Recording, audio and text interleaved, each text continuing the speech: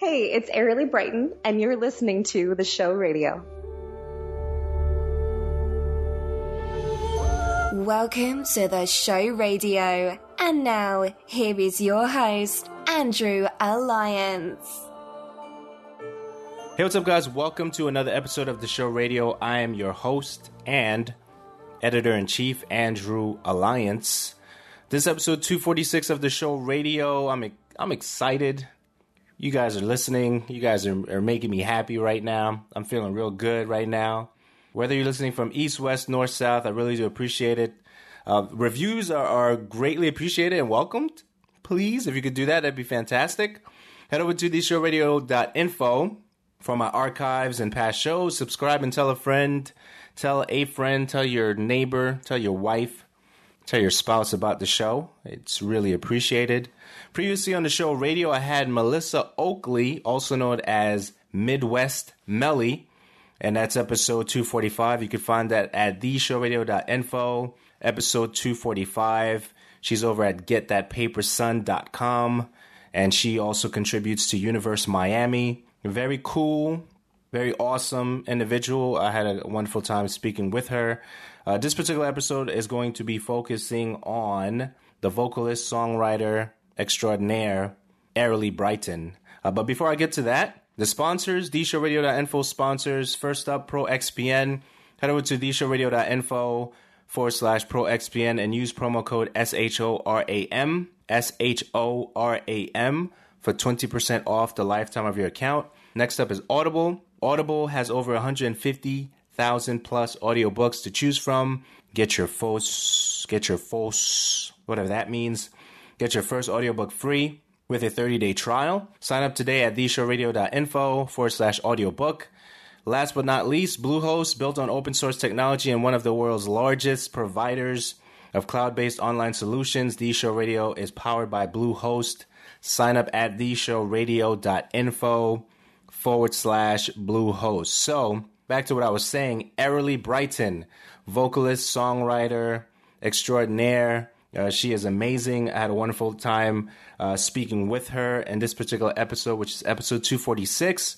If you don't know who she is and you play the game by Moon Studios called Ori and the Blind Forest, she is the lead vocalist on there. And uh, there's also some other amazing individuals on that particular game in terms of the score, if you will.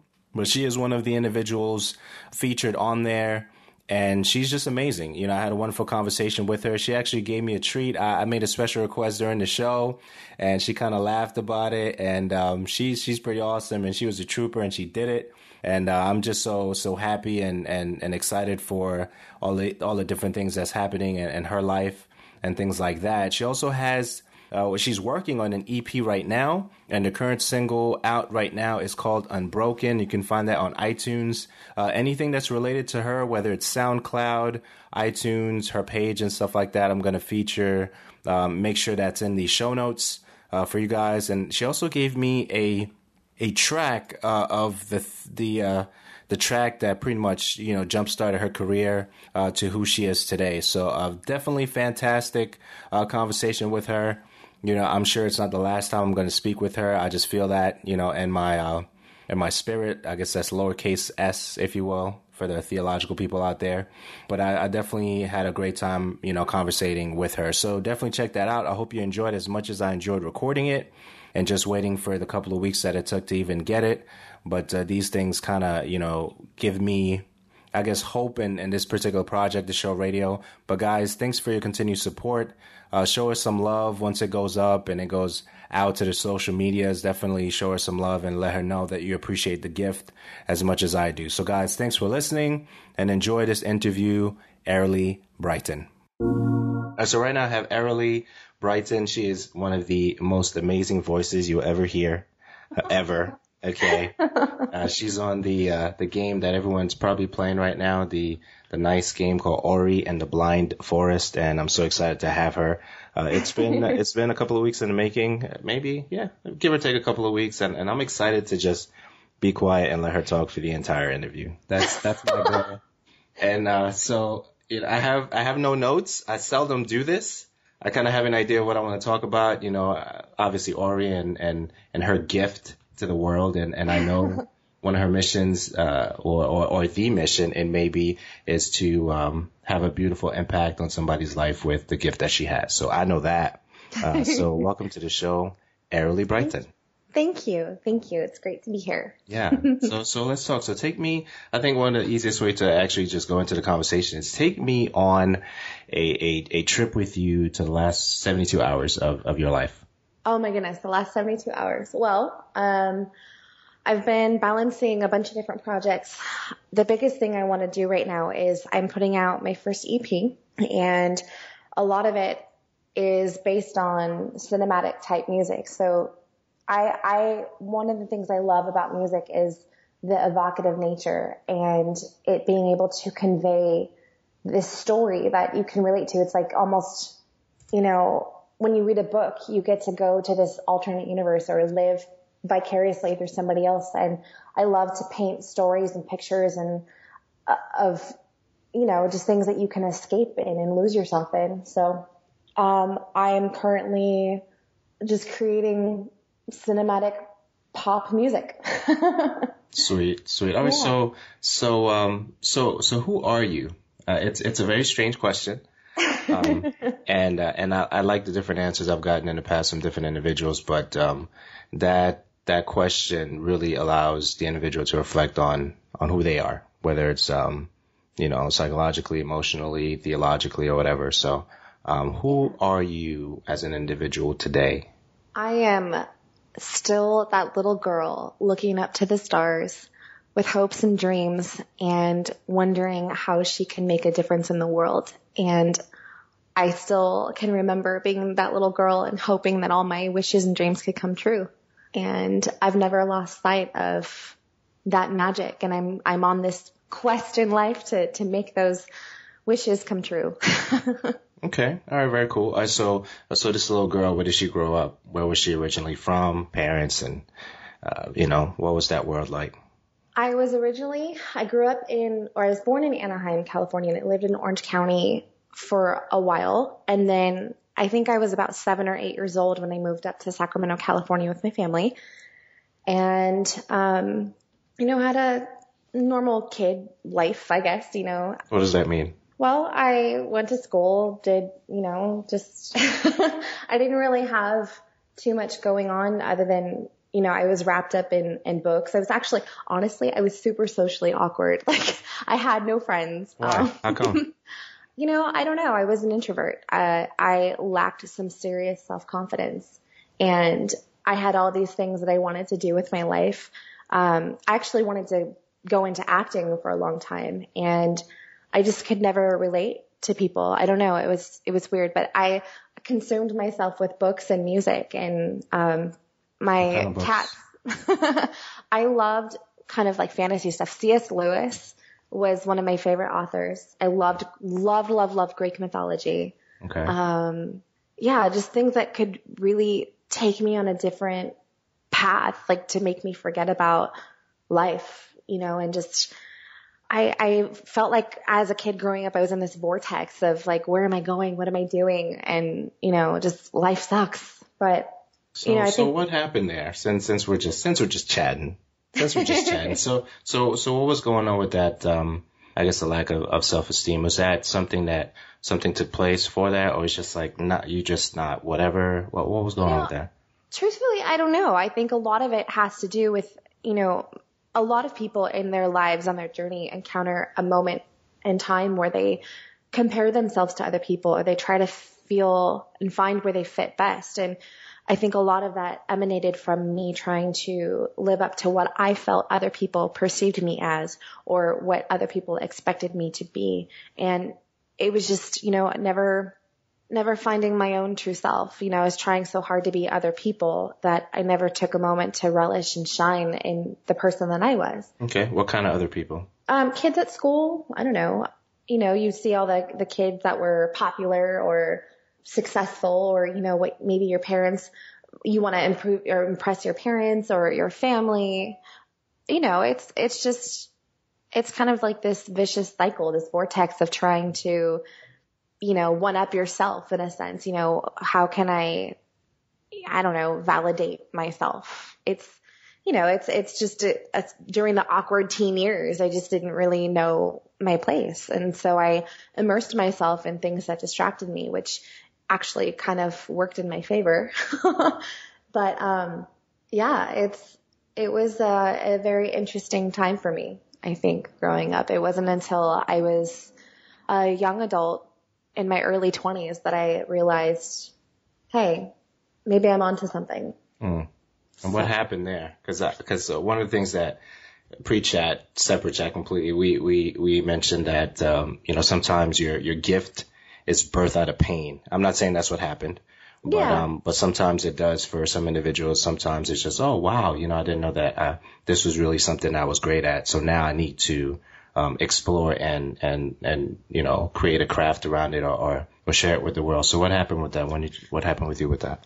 You know, I don't think it was ever a, an epiphany for me, so to speak, like, oh, I have to do music. You know, I'm going to change the world. It's, it's not like that. I think there just came a moment in time where I got tired of, you know, feeling lost. I got tired of feeling like, man, I just, I'm never going to be good enough or whatever, like whatever the case may be, you know, whether it's just me going to work and, and doing a great job at work or, you know, having a bunch of friends or whatever. Like I just, I was living for other people. And that's why I felt so lost and just like, man, what is my life amounting to? And I remember I was working for the sheriff's department as a secretary after I graduated high school. I didn't go to college right away. And I worked there for about three and a half, four years and decided I wanted some adventure. So I figured, well, where else can I go that my bills are paid, but I get to travel the world while I join the army. And I became a combat air traffic controller. And I think through the military, that really made me strip myself down and really assess who am I? What am I doing in my life? Where am I going? And I knew that as hard as it was for me in boot camp, there were so many days that I just wanted to quit and throw in the towel. And I knew that if I gave up, then okay, that's fine. You know, you can quit, but then where are you? You're back at square one and you have no direction. You just, you know, wasted the past three months of your life. And so I just learned to really dig deep and I learned the, what is it? The importance of what I'm trying to think of how to say it. Um, take, take your time. I'm, I'm, we're, we're here for all night, all night. All night. it's, uh, it's, well, just the importance of learning how to manage your time in the sense that it's okay to not have to take on the entire world at once. You know, like I'm, I've always been passionate and therefore I always look at and strive to work toward the bigger picture. But sometimes you can't just like throw yourself up on the mountain. You have to literally take it step by step and conserve, uh, what's it, conserve all of your strength. So I learned to isolate moment for moment, hour by hour, day by day. And I knew that every moment counted. And so soon enough throughout boot camp, even though it was like the longest time of my life, it felt like it anyway. How Next thing I knew. For? Uh, the army or boot camp? We the entire army experience. How long were you in for? Um, it was just under three years, I think. Okay. Yeah. Um, it was just insane because the next thing I knew, I looked up and it's like, oh wow, it's already like graduation for boot camp, and then you know you go to your flight school or you know your AIT, and then you I I happened to deploy to Iraq right after the um the AIT, and so you know, that in itself was, again, I looked at everything as like my boot camp experience, you know, every day, just one day at a time. But it really occurred to me that I can do anything it is that I want to accomplish. And I have been incredibly blessed with the opportunity to excel in school. And I knew that I was smart. And I figured, you know, if I can get through this stuff, then why can't I try to make that work for what I really want to do? Because I can always go back to school. But um, after I got out of the military, I kind of like dabbled in music a little bit, but you know, it's like still needed that safety net of like, okay, well, I have to be practical here. Let me go to school and study. And I actually started studying biochemistry. For a while, I wanted to be a virologist and study viruses and try and help find cures for things. So that was kind of, that consumed my life for about a year. And, but I just, I still felt empty. I still felt like, man, I'm really missing something. Like I just have no life right now. I have nothing that really drives me. And so I just one day I was looking online on YouTube for music to study to and I came across a composer who I absolutely loved his music. I fell in love with it and I sent him a message and thanked him and I didn't think anything of it, you know, and then next thing I know, he writes me back and says, thank you. And we start talking. We talked for like 13 hours and that's a long time. It is a long time. And, you know, and he's just like, you know, wow, you have so much in you. He's like, have you ever thought about singing? I'm like, uh, you know, I, I like to sing, but I'm not like a singer. And so he's like, okay, well, would you like to sing? And I was like, okay. So I sent him a demo, like a, a quick little demo. I recorded a cappella from my phone. What, what did that sound like? Um, I have a link actually. I can send you the link. It's on my SoundCloud. And okay, I want you to do something weird. Okay. What? I want you to sing the alphabet. Why? because I, because the fact of the matter is, it doesn't matter what you're saying. I think it's going to sound fantastic. right now, right now. Yeah, like, um, yeah, right now. Why not? this, this is how this, this is how we're going to do it. Like, if you sing the alphabet right now, I'm probably going to start crying. Maybe. Okay, let's go for it. okay.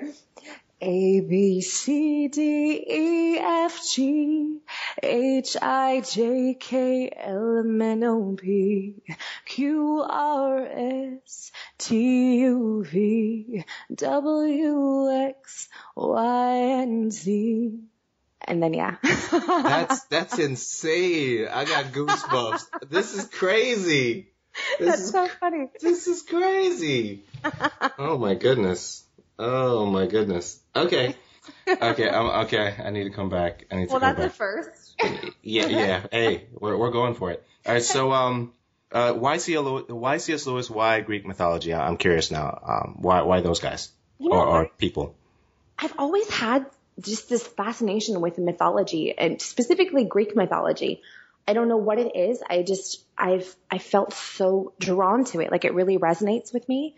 And C.S. Lewis, I love the Chronicles of Narnia. Like I, I devoured that series over and over and over again. I just, I loved it.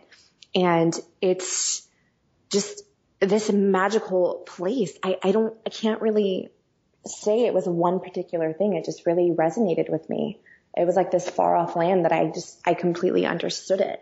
And it was, it, you know, um, just the different stories of, of this, these, to me, it's like this magical, place. I don't I don't really know. okay, all right. So so one of the questions I, I did want to ask you. So what are your views uh, theologically? Do you have any particular views that you hold on to? Any worldview that you ascribe or subscribe to when it comes to that? You know, I I'm very spiritual. Um, I do believe in heaven. I do believe in God. I believe in angels and and all that. But I don't really know because to me there's a lot of conflicting things in different religions and and ultimately it all boils down for me just to have love in your heart and to do good and to give thanks where there's thanks. And if you have the capacity to make a difference, do it, you know, and, um, everything else will fall into place. And always remember where you come from and, and just be grateful. Be, be very grateful for what you have because it can always be taken away.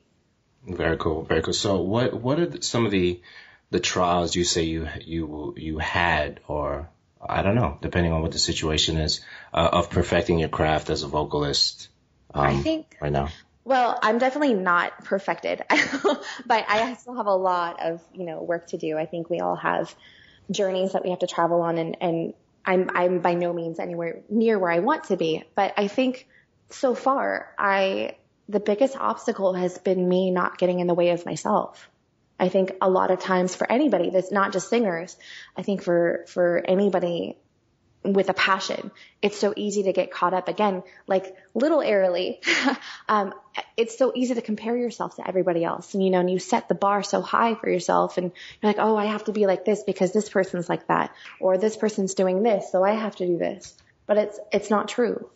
I think that the number one thing I have to constantly remind myself is to love myself for who I am and to know that I have something unique to offer and nobody can take that away. Yes, there can be similar things, but somebody's only doing themselves an injustice if they try to emulate verbatim what I do because they're not honoring their own identity. And it's, you know, it's hard because there's so many people who are deserving and talented to, and who are nipping at my heels trying to get to be where I'm at. And it's just, it kind of runs in tandem with remembering, you know, every day is a new day. Every project that you get could be your first and it could be your last. So you just cherish it for what it is and be grateful and, you know, just remember that, just remember the reasons why you're doing what you're doing. Um, right. I mean, so just realistically, I don't think anybody can do what you do. You know? let's let's just keep it real. You know what I mean? I don't think anybody can do what you do because because have you have you seriously you know like sat down and thought about the actual impact that you're making when everybody turns on Ori and the Blind Forest and listens to your voice? No, because I don't think it's just me. I mean, I'm well. Like I mean, it's not cog of the wheel. Well, yeah, I understand that. I understand that. I, I get that. But but this is what's happening right now, though that's, that's the reality of it. I'm just, you know.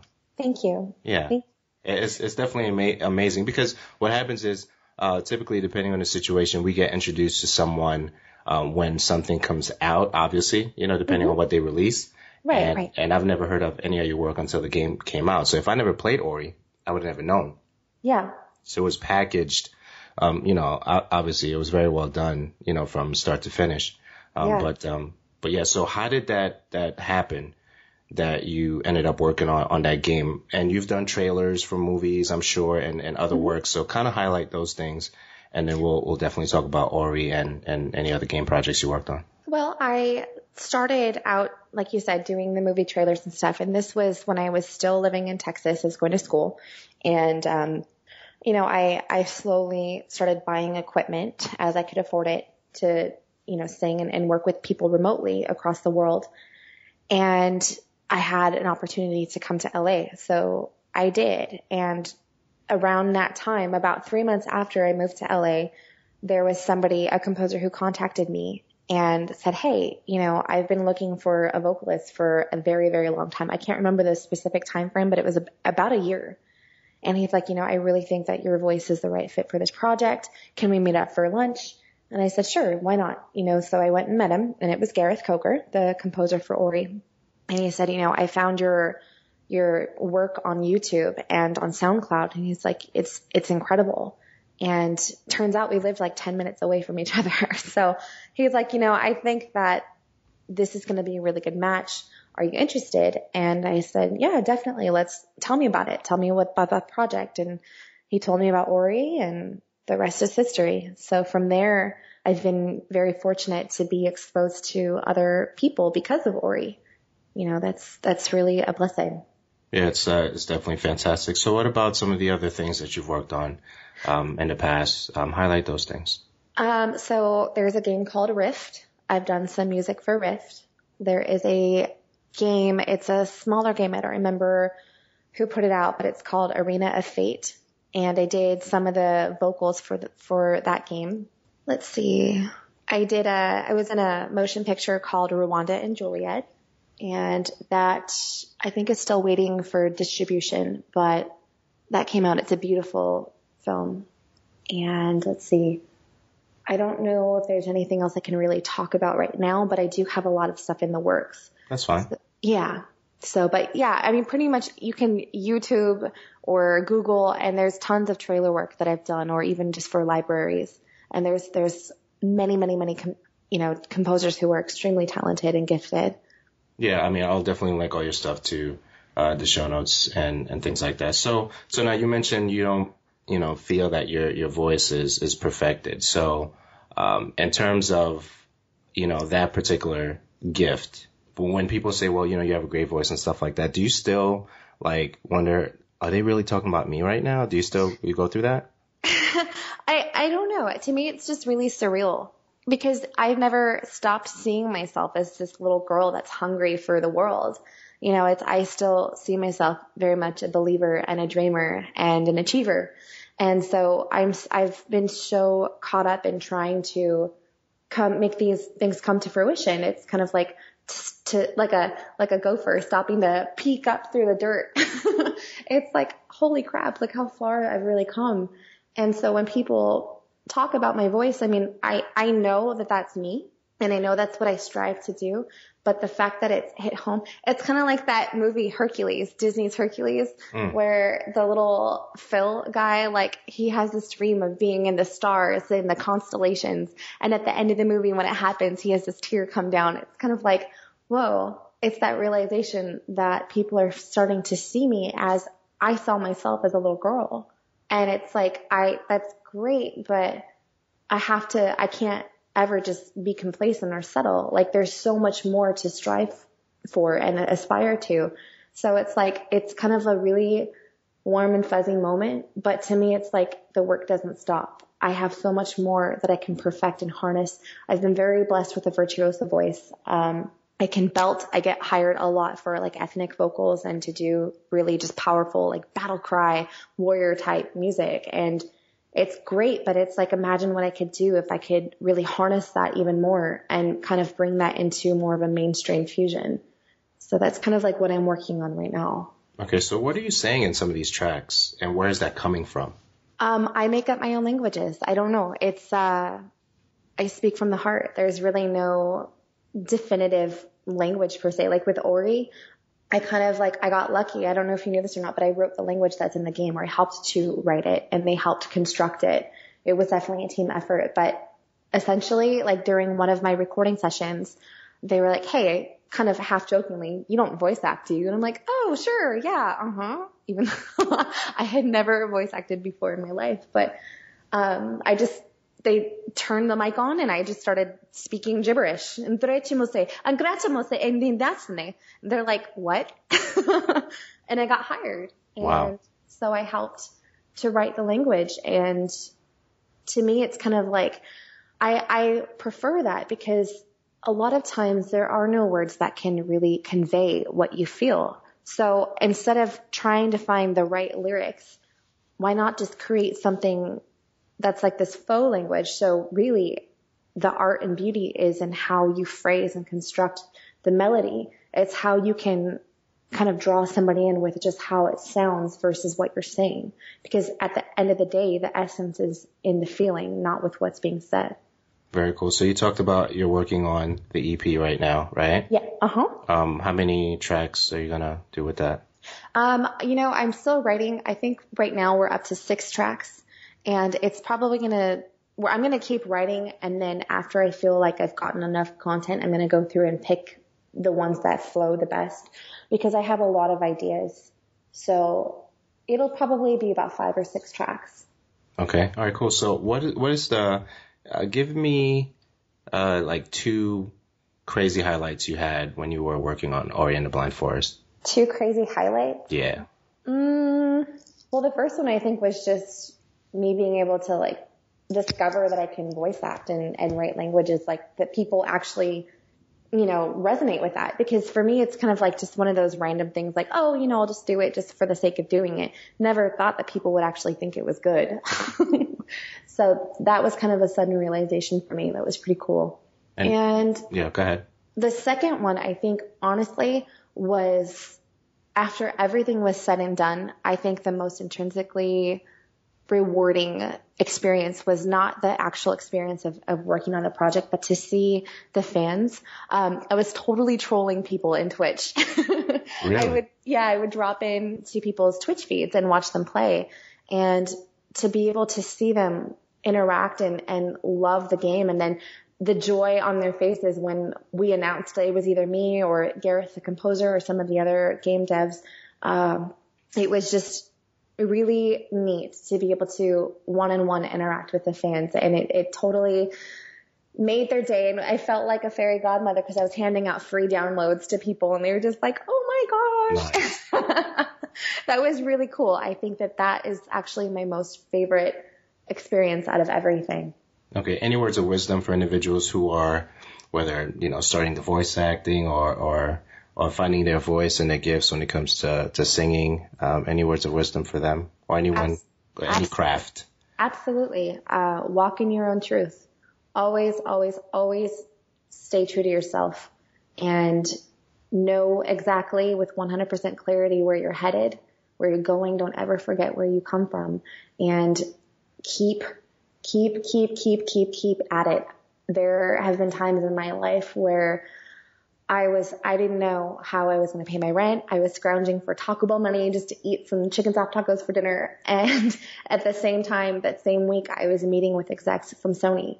And, you know, it's like nobody ever has to know the perils that you're going through. The only thing that matters is that you show up on time, that you follow through, and that you deliver high quality work. And that's it you maintain your professionalism and everything else will fall into place. Okay, so so Aeralie, did I forget anything? Anything that you want to promote, give out? Uh, you know, anything that you want to share? I want to make sure I, I, didn't forget anything while I was talking to you. Um, I can. I'll definitely send you the links for the free downloads for the game. We have like the main menu trailer and or the main menu music, the trailer music, and um, I can, I'll send you that so you can post all that. And then I can send you, if you want, the link to the clip that started my entire career, that acapella. Okay, cool. Of course. I'll, I'll, I'll definitely do that. Okay. So where can, where can they find you, connect with you? And, um, and after we, we've done that part, I just want to hang out with you for like uh, two seconds and you know, kind of offline, but we'll still be on. But uh, it's something I want to, you know, ask you if you can do for me.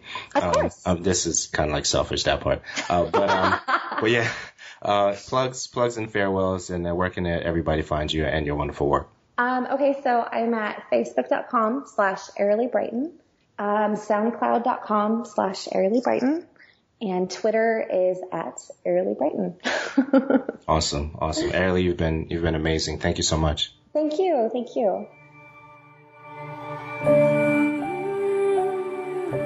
You're listening to The Show Radio. Visit our blog at theshowradio.info. Subscribe and rate us on iTunes. At The Show